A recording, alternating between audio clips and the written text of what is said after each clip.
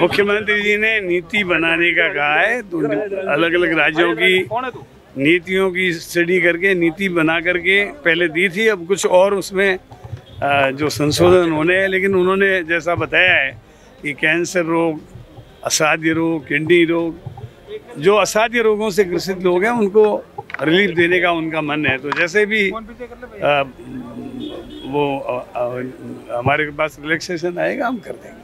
तो मतलब इसकी तैयार करके आचार संहिता कर देंगे आप लोग? देखिए माननीय मुख्यमंत्री ने जो घोषणा की है उसको तो इम्प्लीमेंट करेंगे करेंगे। सर आप कहते हैं पॉलिसी तैयार है कुछ कुछ अन्य राज्यों की पॉलिसी को उन्होंने कहा स्टडी कर लो और उनके कोई अच्छे बिंदु हो तो इसमें जोड़ लो। पति पति पत्नी जो दूसरे राज्यों में पदस्थापित है उन्हें भी छूट मिलेगी इस मामले में। वो तो पॉलिसी बनेगी आपके सामने आ जाएगी। सर ये टीचर कह रहे हैं कि अगर ट्रांसफ़र नहीं तो वोट नहीं। पिछली बार बीजेपी ने थर्ड ग्रेड के ट्रांसफ़र किए तो बीजेपी हार गई थी। तो ये कोई ऐसा है जो भी पॉलिसी बनेगी निश्चित रूप से माननीय मुख्यमंत्री जी की मंशा है पॉलिसी बनाकर थर्ड ग्रेड टीचर्स के लोगों को भी राहत दी जाएगी उनकी भी समस्याएँ सुनकर उनको राहत देंगे। कल भी चार परिवर्तन यात्राएँ निकाल दी बीजेपी हाँ। आपको क्या लगता है कि कितना असर डालेगी और चार लीडर्स को मैदान में उतारा देखिए मुख्यमंत्री जी ने ओपीएस की स्कीम दी है। ये खुलेआम कह रहे हैं हम ओपीएस को बंद करेंगे तो उनको कोई कर्मचारी वोट देगा? आप खुद विचार कर। लो सीतारमण कह रही है प्रधानमंत्री जी कह रहे हैं ओपीएस बंद करेंगे।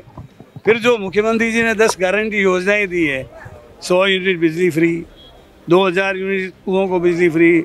इसी प्रकार जो आपके सामाजिक अधिकारिता में एक हज़ार की सबको पेंशन, पंद्रह परसेंट प्रति वर्ष इजाफा मनरेगा और ये अपना इंदिरा गांधी शहरी बेरोजगारी योजना में 125 25 दिन का रोज़गार। इसके साथ जो अन्नपूर्णा योजना है, उसमें पहले गेहूँ मिलता था। अब उसके साथ चीनी, दाल, तेल, मसाले मिलेंगे। इसके साथ साथ दो व्यक्तियों का दुर्घटना बीमा 25 लाख तक का इलाज फ्री।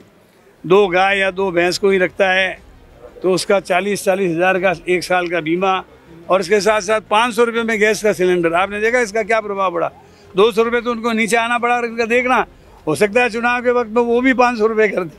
हम तो उनसे भी मांग करते हैं डीजल, पेट्रोल सस्ता करो।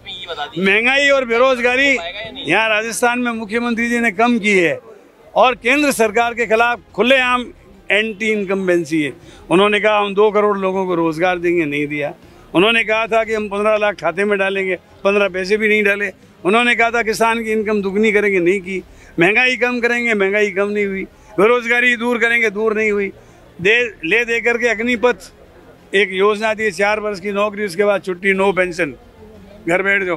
तो इन सबसे एंटी इनकम्बेंसी है केंद्र सरकार के खिलाफ। आप निश्चित मानिए जैसे कर्नाटक में, हिमाचल प्रदेश में, ये तो कह रहे थे, कांग्रेस मुक्त भारत करेंगे, कांग्रेस युक्त हो रहा है भारत। इसलिए जो इंडिया के नाम से, इंडिया का नाम जो है, पूरे गठबंधन का नाम है। इतफाक से वो एब्रीविएशन इंडिया बन गया। अब आप देख रही कि किस तरीके से वो जो है, इस गठबंधन को कमज़ोर करने की कोशिश करने में लगे हुए हैं। ये गठबंधन कमज़ोर नहीं होगा, मज़बूत होगा और पूरे देश में वोटों का बंटवारा जो है वो रुकेगा और निश्चित रूप से इंडिया गठबंधन जीतेगा। केंद्र पर दबाव होगा इलेक्शन से पहले पेट्रोल डीजल की और और कीमतें भी अब केंद्र भी कम करेगा। हम तो बराबर शुरू से ही ये इन्होंने वायदा किया था कि हम पेट्रोल डीजल के दाम कम करेंगे। इन्होंने सौ रुपये के आर पार की एक, एक सौ रुपये से भी अधिक डीजल पेट्रोल महँगा कर दिया और जिनसे महँगी कर दी। ठीक है